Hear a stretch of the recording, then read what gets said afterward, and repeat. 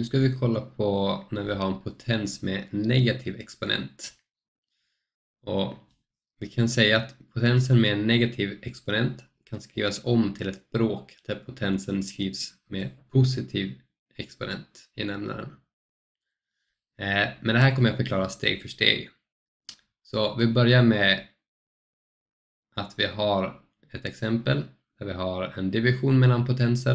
Där vi har täljaren 5 till 2 dividerat med 5 upp till 5.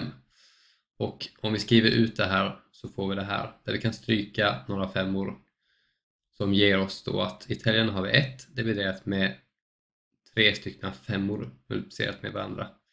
De här femmorna de skriver jag om till 5 upp till 3. Så då har vi att den här divisionen blir 1 delat med 5 upp till 3. Mm. Om vi istället använder divisionsregler på divisionen med potenser så ger det oss att vi tar exponenten i täljaren subtraherar och subtraherar med exponenten i nämnaren. Då får vi 5 upphöjt till 2 minus 5. Och då får vi att 5 upphöjt till minus 3 är samma sak som divisionen med potenserna. Och eftersom, och eftersom de här bör vara samma så ger det oss det här. Det vill säga att 5 upphöjt till minus 3 är lika med 1 genom 5 upphöjt till 3.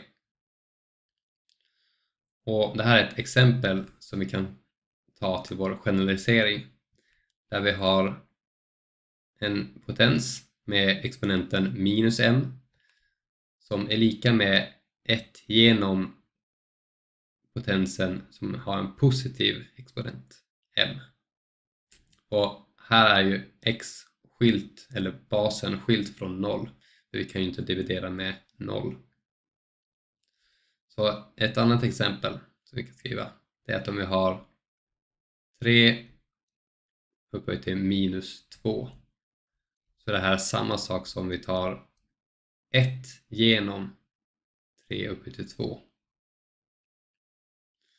Ett annat exempel som vi kan ta det är att om vi har 2 multiplicerat med 5 upphöjt till minus 3 så ger det oss att vi har 2 får vara kvar men så dividerar vi med 5 upphöjt till 3 där exponenten blir positiv istället för negativ.